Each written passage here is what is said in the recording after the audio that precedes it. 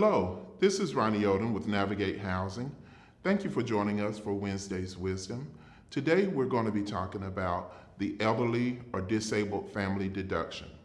Now this deduction is a one-time deduction of $400 and it's based on the circumstances of the head of household, the co-head, or the spouse, or sole member if it's a family with only one member.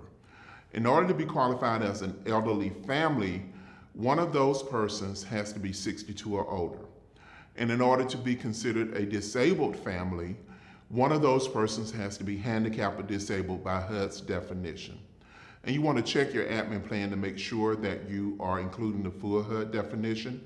And also check your verification forms to make sure that that definition is on your verification forms. Remember, if that person gets SSI or SSD, you don't have to verify the disability. That, that is verification within itself.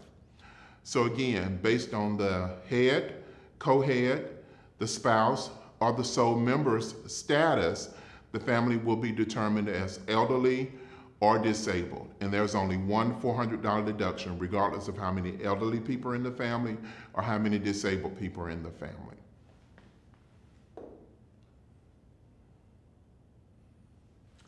Now, I want to use this example and join along with me.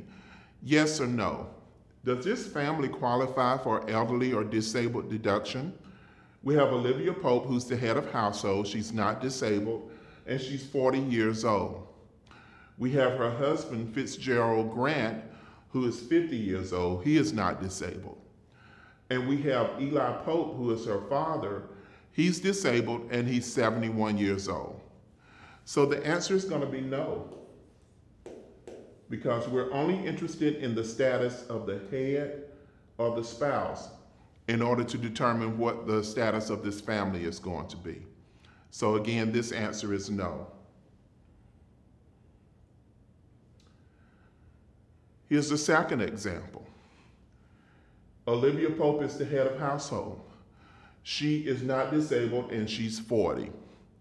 Her husband Fitz is also not disabled and he's 50. But they have a son, Huck, who is disabled and he's 17. Would this family qualify as an elderly or disabled family? Again, this answer is no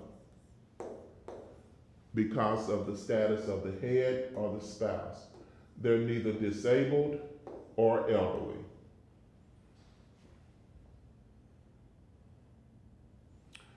And the final example, Olivia Pope is not disabled and she's 40 years old. Her husband Fitz is 63 and he's not disabled. And they have a son, Huck, who's 17 and he is disabled. In this case, yes, the family qualifies as elderly, as an elderly family, because the spouse is 62 or older. Thank you so much for joining us today.